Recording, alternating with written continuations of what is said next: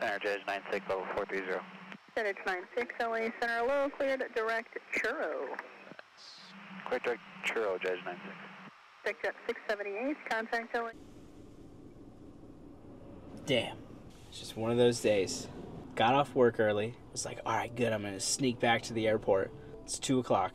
Got three hours of sunlight left. I don't know if we're gonna make it.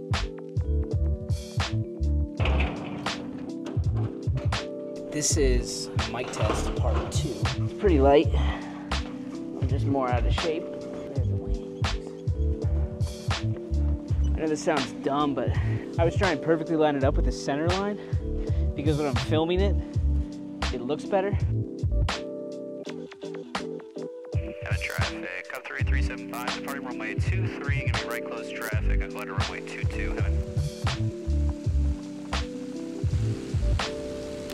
So those who've been uh, following the saga that is my my failures in the audio recording world, I have a backup now. I'm running two, got this DJI mic 2, never tried it.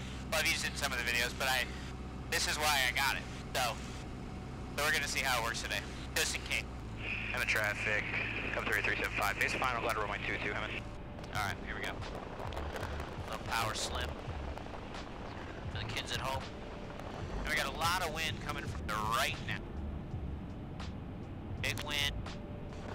Coming in straight. You're gonna have to set down that right wheel first. Nice and easy. Nice and easy. There it is. It's a good amount of wind from the right today. There's that other wheel. Like that. Look at this. Look at this crab right here. This is crazy. There's so much wind right now. Ready to back up. No joke. Have to speed off the rudders.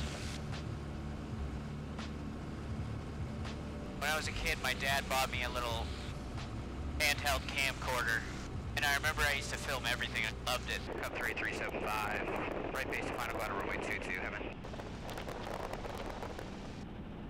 Alright, here we go again. Right on that center line. See if we can do it. Wait for it. Wait for it. Oh no. Wait for it. Oh, that was pretty weak. Damn it. That was really weak. I remember the first GoPro I ever got. I remember seeing the commercials and it was always, you know, the the shot that they always filmed was the guy, the guy in the surfboard and it was mounted on the nose and it was pointed back at him.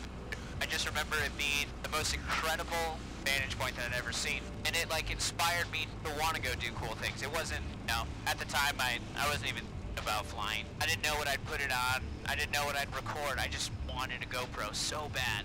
I wanted to do those cool things. And I remember getting it and then not filming anything. I'd film a couple things, but I, I was I wasn't doing anything cool. So it just sat on my shelf and I was so disappointed. You just feel the wind pushing us from from the north. It feels like I'm moving so fast that direction. So you gotta kinda bank into it a little bit more, give it a little bit more of a more of a pull. There we go. Okay. Come on. Nice and smooth. Right wheel first, right on that center line. A little gusty. A little gusty. There it is. There it is. Nice and easy. Add a little power just to keep it up a little bit. Dang, it's gusty right now. And we're off.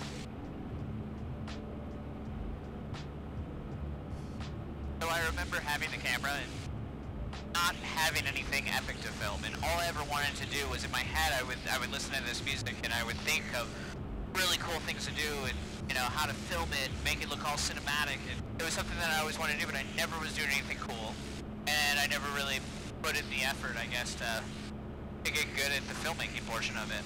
Uh, but then we got the Christen Eagle, and oh man, I couldn't wait to start filming again. I had so much fun just going out and just filming a roll and early on when you're learning the airplane it was like the coolest thing because before we got it I was so inspired by all the people that posted videos and I loved them all I did was watch them over and over and over again. I remember there was this kid Hunter Hunter Nadine.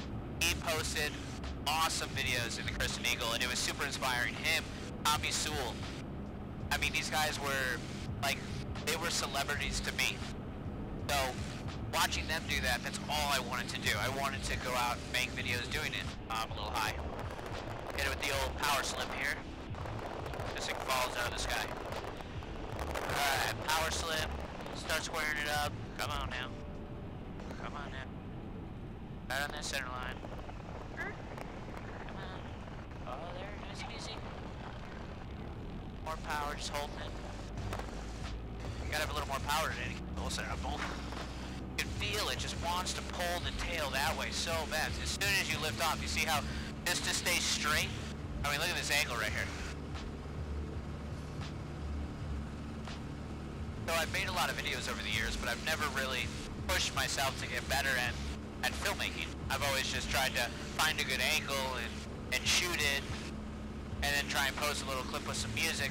While I always love filming, I feel like I never tried to never tried to get better until I met a couple guys that are really good at filmmaking. Through all this flying and stuff, I've met Christian Oyala, who has done all our drone shots and has taught me a ton, a ton about cameras, GoPro specifically, drones, running a business. It's incredible. And my friend Ethan, he goes by P Dizzy, P-D-Z-Z-Y, P Dizzy. Everything that that kid puts out is phenomenal. Heavy traffic. Yellow cub. Charting final. Glider runway 22, heaven. That guy makes is phenomenal. Like, it looks so cool and cinematic, and it involves aviation, and I can't get enough of it, I, I love it. Alright, come on. I'm floating a little bit. A little gusty. Set her down. There you go. Gusts. That's how you beat the gusts.